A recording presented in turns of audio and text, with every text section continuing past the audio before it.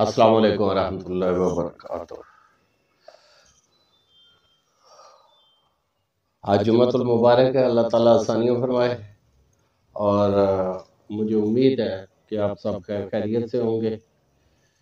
اور آج میں اپنی بہادر شاہ ظفر کی لکھی ہوئی ہم سے شروع کرتا ہوں۔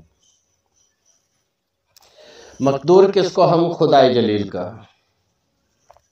مقدور کس کو ہم خدائے جلیل کا، اس جا پہ بے زباں ہے ذہن کالوکیل کا۔ مقدور، کس کو ہم خدائے جلیل کا، اس جا پہ بے زباں ہے ذہن کالوکیل کا۔ پانی میں اس نے راہبری کی کلیم کی۔ پانی میں اس نے راہبری کی کلیم کی۔ آتش میں وہ ہوا چمن آرا خلیل کا۔ اس کی مدد سے فوج ابابیل نے کیا۔